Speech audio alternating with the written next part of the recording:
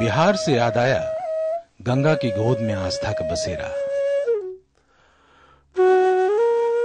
बसेरे से याद आया, मौर्य वंश का एक महान सम्राट, अशोक, जिसे सत्ता, साम्राज्य, सियासत, ताकत और शांति के महान मकसद के लिए इस धरती को केंद्र बनाया।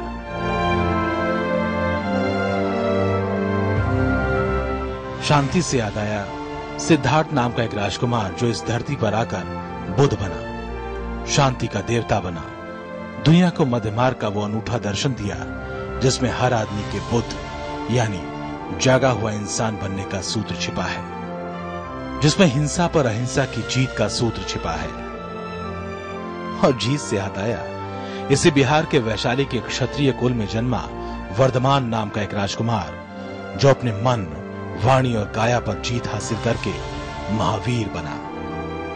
जैन धर्म के अद्भुत दर्शन को दुनिया के सामने रखा, मुक्ति के ज़रिए मोक्ष का रास्ता खोला। और मुक्ति से याद आया, अठारह का वो सिपाही विद्रोह। देश को बर्तानिया हुकूमत से मुक्ति दिलाने के लिए भोजपुर के एक 80 साल के जवान बाबू वीर कुंवर सिंह का वो जज्बा, जिसने उम्र की हिलोरों को हराते हुए गोरों को मात दी।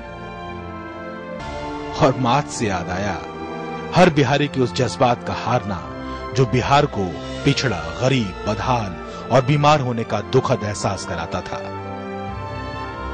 एहसास से याद आया विकास के आसमान पर आफताब की तरह चमकते बिहार का नया सुकून। उम्मीद के फलक से बदलते बिहार का ज़मीन पर उतरना। उम्मीद से याद आया, सियासत में विकास की गुंजाइश पर भरोसे का नया मतलब।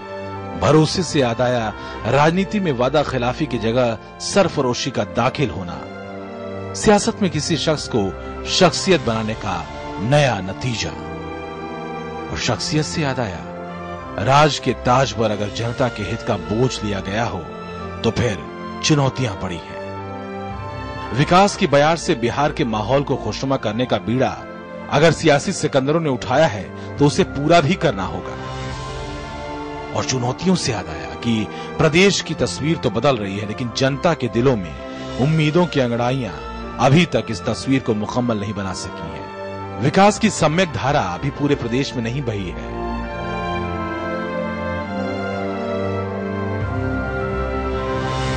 और विकास से याद आया कि बिगड़ी तस्वीर को बनाना एक बात है और बिगड़ी तकदीर को बदल देना दूसरी बात। बिहार के लिए सबसे बड़ी चुनौती यही है। ब्यूरो रिपोर्ट महुआ न्यूज